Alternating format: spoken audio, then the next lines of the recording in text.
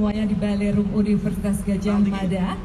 Yang kami hormati para rektor, para pimpinan universitas, pimpinan perguruan tinggi di daerah istimewa Yogyakarta. Dan juga yang kami hormati rekan-rekan media yang sudah siap di halaman Balerum untuk kita bersama-sama mendengarkan seruan bersama pemilu berkualitas demokrasi bermartabat yang diserukan oleh rektor dan segenap pimpinan perguruan tinggi di daerah istimewa Yogyakarta. Assalamualaikum warahmatullahi wabarakatuh. Mengawali acara kita pada kesempatan hari ini, kita akan berdoa bersama yang akan dipimpin oleh Rektor Universitas Islam Negeri Sunan Kalijaga, Profesor Dr. Phil Al Makin SAGMA. Kami silakan.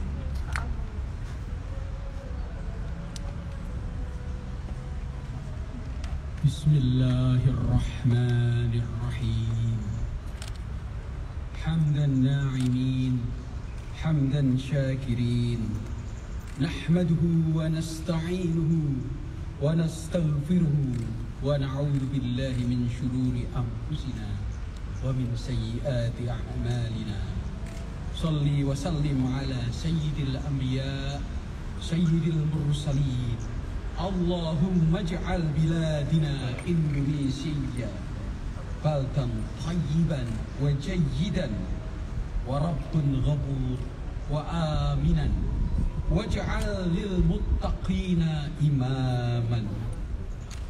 Tuhan kami berdoa semoga pernyataan kami menjadi bekal pengingat moral tauladan kejujuran untuk bangsa, untuk rakyat, untuk para pemimpin kami.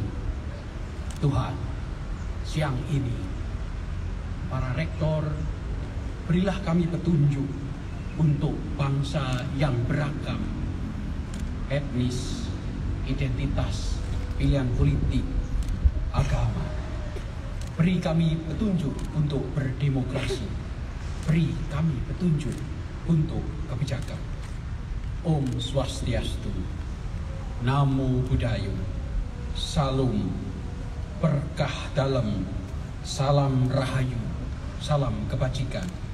Amin ya Rabbal Alamin. Selanjutnya kita akan mendengarkan seruan yang akan dibacakan oleh Rektor Universitas Gajah Mada, Profesor Dr. Ova Emilia Emet ED, SPOG Konsultan PHD. Kami silakan.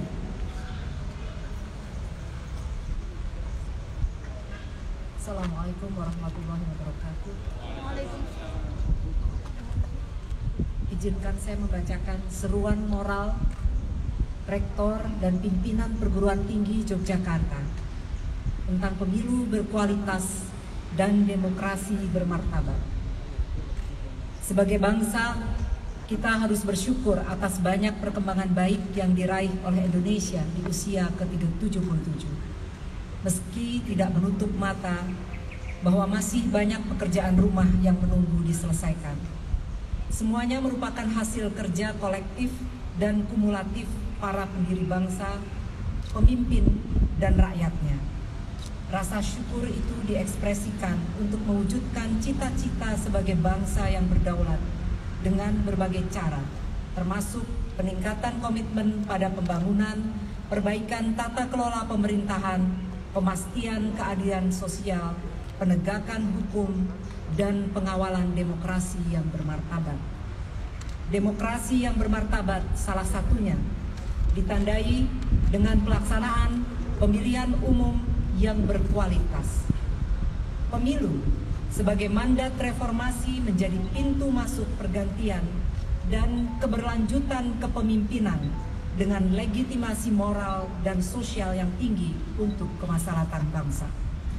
Pada tahun 2024, Indonesia memasuki babak baru demokrasi dengan penyelenggaraan pemilu serentak secara nasional. Pemilu merupakan aktualisasi nilai perjuangan kebangsaan, dan pembentukan konsensus demokrasi yang mulia. Jika berlangsung dengan baik, Indonesia akan menjadi contoh negara besar yang mampu berdemokrasi secara dewasa.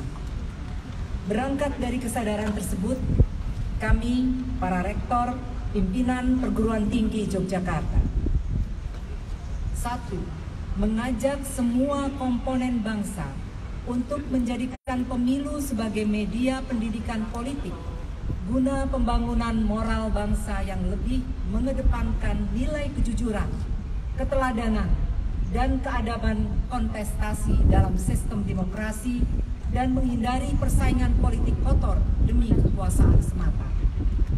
Dua, menyeru seluruh komponen bangsa untuk menjamin pemilu berjalan secara partisipatif bagi seluruh bangsa Indonesia dan tidak dimonopoli oleh segelintir elit kelompok oligarki yang mengabaikan kepentingan publik.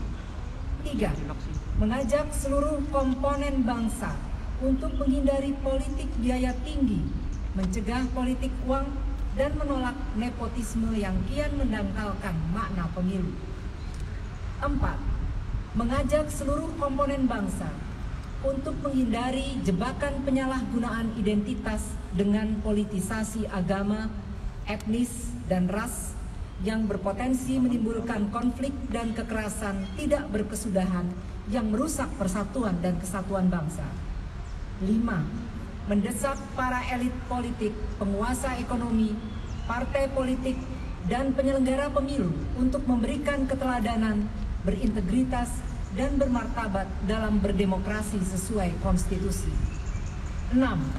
Mendorong seluruh komponen bangsa menjadi warga merdeka yang tidak mudah terpengaruh hasutan, hoax, dan ujaran kebencian atau berbagai upaya lain yang menciptakan perpecahan dan pembelahan sosial yang sering terjadi dan berdampak buruk pada masyarakat.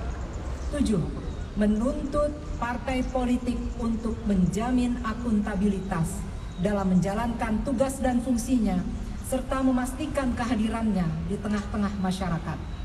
Delapan, mengajak masyarakat untuk berpartisipasi aktif dan kritis dalam penyelenggaraan bernegara dan bermasyarakat sebagai bentuk kualitas kewarganegaraan. Sembilan, mengajak semua komponen bangsa untuk tidak menggunakan kebebasan demokrasi secara manipulatif yang justru mencederai hak-hak orang lain atau melanggar konstitusi. Dan 10.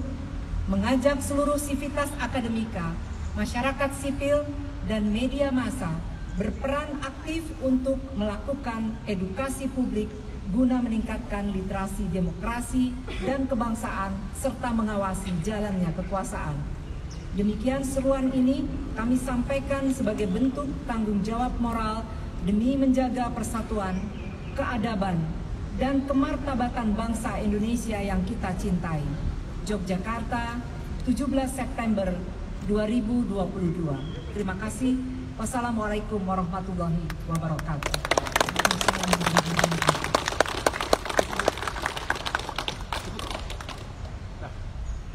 Terima kasih Bapak Ibu semuanya, terima kasih teman-teman dari rekan-rekan media semuanya yang telah hadir dalam acara seruan bersama pemilu berkualitas dan demokrasi bermartabat. Demikian acara kita. Seruan dari Yogyakarta untuk Indonesia Jaya.